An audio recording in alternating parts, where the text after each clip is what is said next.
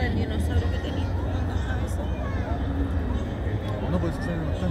¿Ah? Ese de que lo traído aquí para como.